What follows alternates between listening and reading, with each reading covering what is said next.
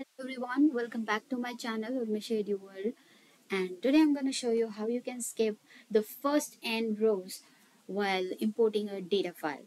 Whichever the data file you import, you you might come across with such files where you know initially they give it some kind of an information and you want to skip this because you, you uh, your sole purpose or whenever you work on the data analysis part is just you need the column names and their respective values records in the whole sheet. You don't want those extra information. So how you can discard this? So for this if those information are above your column names then you can use this method. So uh, let's understand this. What is the type of file is and what exactly uh, the data file okay? So yeah okay. So as you can see this is what the university file is and I have opened this and this file seems to be look good but the only thing that I don't want is this this first row. Let me highlight for you. Um, okay. So this is the first row that I don't want it uh, because it's giving me the information which is common for everything. And uh, the exact record are this the university SAT top 10 and blah blah blah blah blah and this kind of thing okay?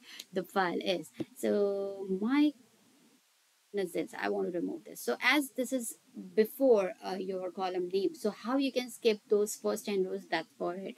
So let's start working on it so before you do so you have to import the library and for here whenever you work with your uh, data sheet you need to import pandas which is the most important so i'm just giving uh, pd as an alias name for for the simplicity to work uh, in wherever the code is so first let's run this cell. Okay, we have imported successfully. Now we I would just want to read the file. For this, let's first import this. For this, um, we are going to create a data frame and I'm going to name it as df which is equal to pandas dot. As um, if you have seen this, um, this whole file, the university, is in the Excel format. So whenever any file with an Excel format, you have to use read underscore Excel and then you have to pass the path for this whole data file which you want to import. So let me go the right click and then there in the properties, I can see there's a location. So I'll just copy paste this whole location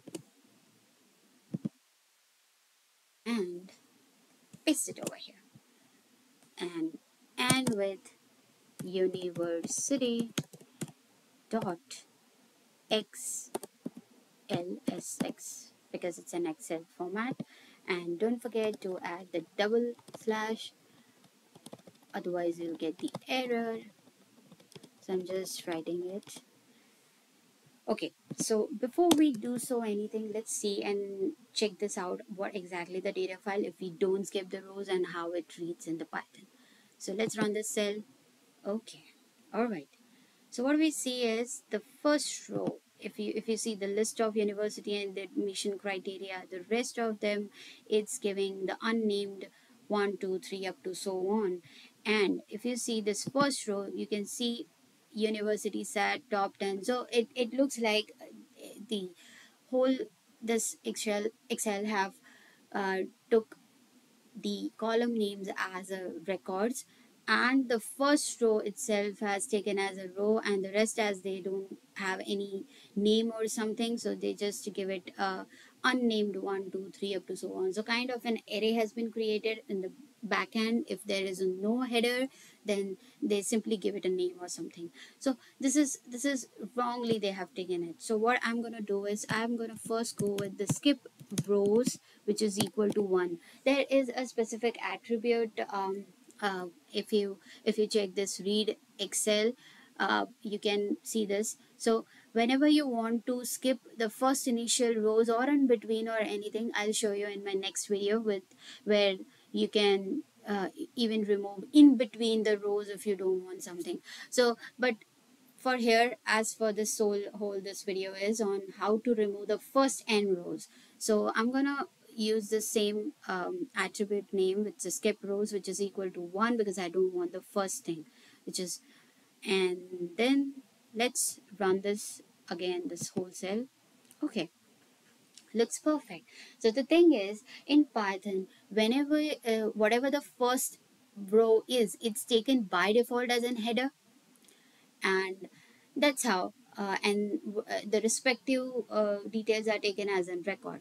So for us we need to skip the first row and we successfully did it. And this is how you can skip the first n rows i hope you like this video and if you really like this video then do like share and subscribe to my channel and for more such video just go on and hit on the bell icon you'll get uh, the first video itself to you uh, once I'll update anything.